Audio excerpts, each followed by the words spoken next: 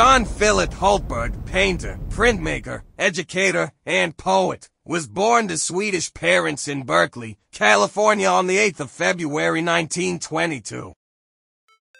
His formal art education began in 1939 at Fresno State College, where he majored in English literature. Upon receiving his bachelor's degree in 1943, Hultberg enlisted in the United States Navy. Upon his discharge in 1946, Hultberg enrolled at the California School of Fine Arts, now the San Francisco Art Institute. Using his GI benefits, he studied with Mark Rothko, Clay Spohn, and Clyfford Still.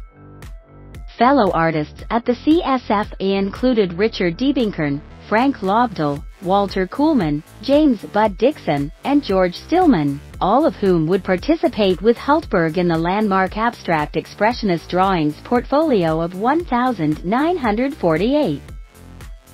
They would subsequently become known as the Sausalito Six, as several had studios in the Industrial Center building on the waterfront in Sausalito just north of the Golden Gate Bridge. The artists met informally in one of the studios and shared models and ideas. They also exhibited at the Contemporary Gallery and the Seashore Gallery of Modern Art in Sausalito. Hultberg's first solo show took place at the Contemporary Gallery in 1949.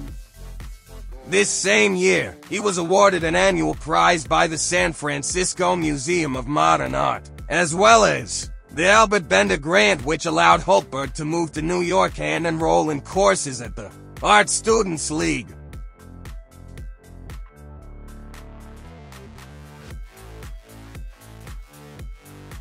In 1952, Hultberg participated in his first New York show at the Museum of Modern Art's New Talent Exhibition, and in the penthouse, go to Hultberg, Kruger. He moved to Paris in 1950 for where he met the gallerist Martha Jackson, who exhibited his work for the next 20 years.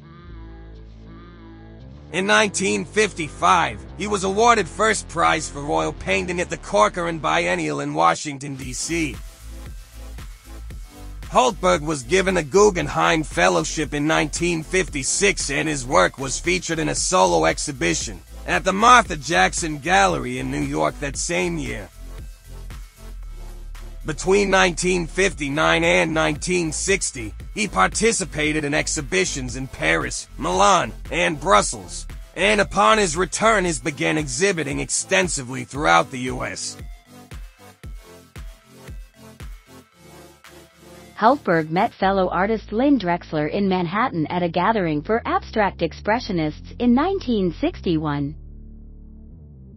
They soon married, traveling for three years before returning to New York, where they lived at the Chelsea Hotel. In 1971, they purchased a home on Monhegan Island, Maine and divided their time between the island and New York City. They would continue to work and exhibit from these two locations until Hultberg, unable to take the harsh island winters, bought a house in Portland, Maine. By the 1990s the two artists were estranged, though they never divorced. Hultberg was awarded a MacDowell Fellowship in 1971 and he won the Pollock Krasner Foundation Fellowship for Painting in 1998. He continued to exhibit regularly, with shows in New York, Maine, and Europe. In 2005, his book Soul Witness WWP Press. 2005 was published as a compilation of essays and poems he wrote in Paris and New York in the 1950s. In addition to his teaching career at the Art Students League 1991-05, he also taught in Hawaii and California. John Hultberg is represented in the collections of the Buffalo KG Art Museum, New York, the Bates College Museum of Art, Lewiston, Maine, the Metropolitan Museum of Art, the Museum of Modern Art, and the Whitney Museum of American Art, New York, the Portland Art Museum, Oregon, the Krannert Art Museum, University of Illinois, Urbana-Champaign, the National Gallery of Art and the Smithsonian American Art Museum, Washington, D.C., and the Worcester Art Museum, Massachusetts. John Philip Hultberg remained active as an artist and teacher until the week before his death in New York City on the 15th of April 2005. He gave lectures, and in 1985 he had an exhibition at the Portland Museum of Art. A play that he wrote was produced the University of Maine Theater Department. He published the book Soul Witness, Vagabondage, Paris Odyssey 1953 to 1955, Poetry, and other books. He taught art in Hawaii and the West Coast. He was teaching at the Art Students League and was a full-time resident in New York by 1990.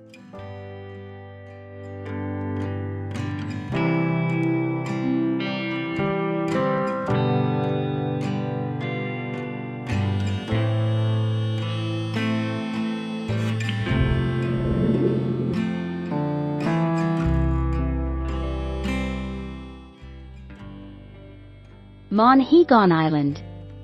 At first, having been swept up by the natural beauty of the island, I found myself copying the landscape, something I had never done before.